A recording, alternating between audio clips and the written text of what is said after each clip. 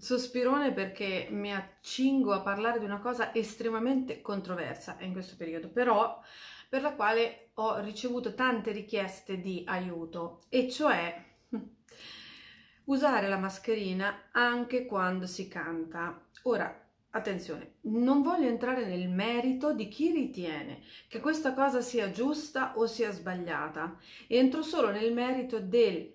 Mm, le, le leggi, le regole, i decreti, qualsiasi cosa sia in tutto il mondo, non soltanto in Italia, perché so che il pubblico che mi segue sicuramente in gran parte vive in Italia, ma non soltanto, eh, ci sono tantissime persone veramente in tutto il mondo, delle quali tra l'altro sono super grata. Eh, comunque esiste, è in vigore in questo anno 2020, in questo momento che sto registrando questo video è ottobre 2020, esiste questa regola che impone l'utilizzo della mascherina al chiuso dovunque ci troviamo. Ora non entro nel merito di spettacoli, concerti, serate, eccetera, perché ovviamente eh, regole diverse, modalità diverse, ma entro nel merito delle prove, momenti in cui si canta alle prove del coro, momenti in cui si canta alle lezioni di gruppo, eh, momenti in cui ci si ritrova nelle scuole di teatro e così via lezioni che ancora sono consentite che si possono fare utilizzando obbligatoriamente una protezione. Allora, le regole dicono che la protezione non, non, non è sufficiente, serve anche la distanza e tutto il resto. Però mi scrivono in tanti, mi chiedono in tanti e io stessa l'ho sperimentato facendo lezione eh, di gruppo come si fa a cantare e respirare soprattutto con la mascherina. Allora, premesso che prima di tutto deve venire la sicurezza, ci sono però degli espedienti che permettono di usare la mascherina in un modo tale da non mangiarsela fondamentalmente quando si inspira, ok? Allora, chiaramente dipende dalla forma del vostro viso e della maschera stessa. Ad ogni modo io affronto il tema con le mascherine chirurgiche che sono queste qui, queste in questa stoffa azzurretta e con questi, eh, con gli elastici messi così, d'accordo? La mascherina dovrebbe essere messa in questo modo, appoggiatela, ve la, vi aggiustate qua il ferretto che è sul naso, la mettete ed è fatta, ok?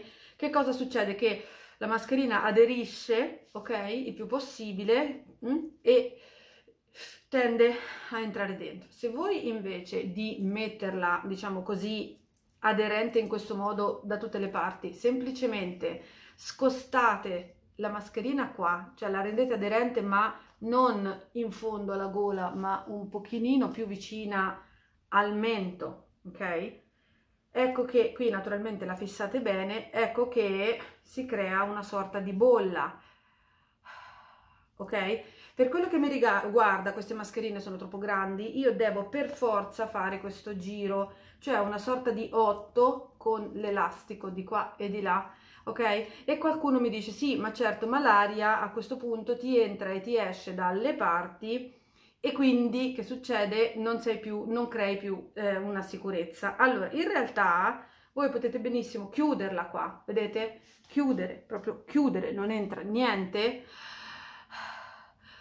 Darth Fener, però il risultato è che si può riuscire a ispirare perché si crea per l'appunto, vedete, questa specie di effetto museruola fondamentalmente. Qua è chiusa, qua sotto è chiusa, qui è chiusa, ma dentro c'è maggior spazio. Quindi per quanto sia comunque abbastanza sicura, per quanto sicura possa essere questo tipo di mascherina, che vi ricordo, io non sono un medico, quindi non posso dire niente, ma non è che di per sé sia la panacea di tutto, però è necessario tenerla, è necessario tenerla nella sicurezza più grande possibile, io in questo modo riesco a prendere un bel respiro senza che mi entri dentro fondamentalmente la, la maschera dentro la bocca. Dopodiché il modo in cui si canta è ovviamente filtrato, è ovviamente diverso da come sarebbe farlo senza, però in questo momento se le regole richiedono di metterla, noi cerchiamo di farlo nel modo migliore possibile. Ok?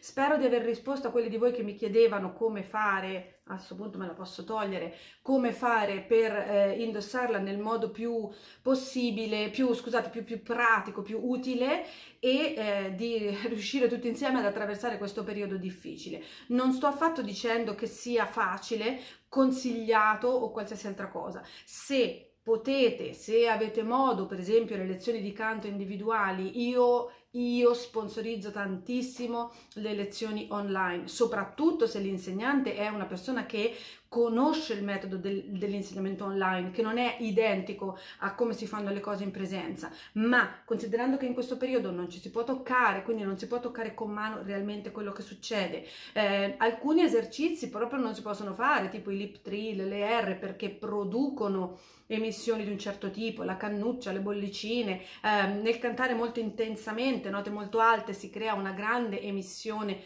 e tutte queste cose, online tutti questi problemi non ci sono ma per quello che riguarda le prove, le cose collettive, eccetera, alternative in questo preciso momento non ve ne sono, anche perché eh, visiere e altri tipi di espedienti non, non sono più consentiti, quindi eh, in questo preciso istante questo è quanto. Spero di non creare troppa controversia, spero che eh, chi guarda questo video lo guardi col, con l'occhio giusto, se avete qualsiasi commento, qualsiasi critica, qualsiasi cosa che sia costruttiva e non semplicemente semplicemente mirata a devastare qualsiasi cosa, eh, siete i benvenuti, lasciatemi pure i commenti che volete, se volete iscrivetevi al canale, condividete e tutto quello che è necessario fare. Ricordo a tutti che il mio corso di belting, note alte senza fatica online esce di nuovo eh, tra non molto tempo. È ancora possibile iscriversi alla lista di attesa per averlo in anteprima e con uno sconto. Il sito è belting.cantafinoallestelle.com tutte le altre cose corsi lezioni individuali eccetera sono sempre disponibili sul mio sito per qualcuno di voi eh, che fosse interessato. Un abbraccio